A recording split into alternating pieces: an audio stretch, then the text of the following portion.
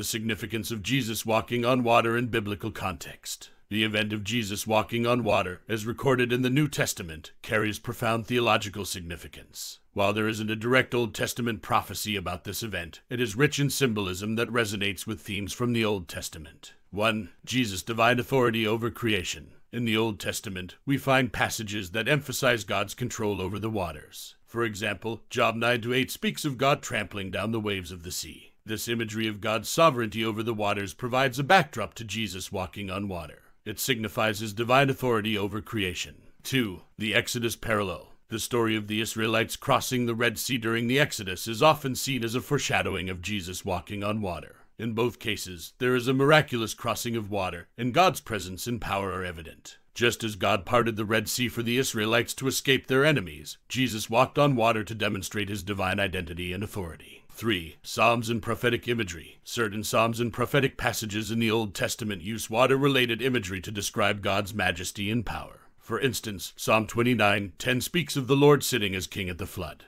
While these passages do not predict Jesus walking on water, they convey the idea of God's authority over water, which can be symbolically connected to the New Testament event. Conclusion While the Old Testament does not directly predict Jesus walking on water, it provides a rich backdrop of themes related to God's authority over creation, his power over the waters, and his deliverance of his people. The event of Jesus walking on water is a profound demonstration of his divinity and authority, echoing these Old Testament themes and revealing him as the Son of God. It serves as a powerful reminder of the one who has ultimate control over the elements and calls us to have unwavering faith in him, even in the midst of life's storms.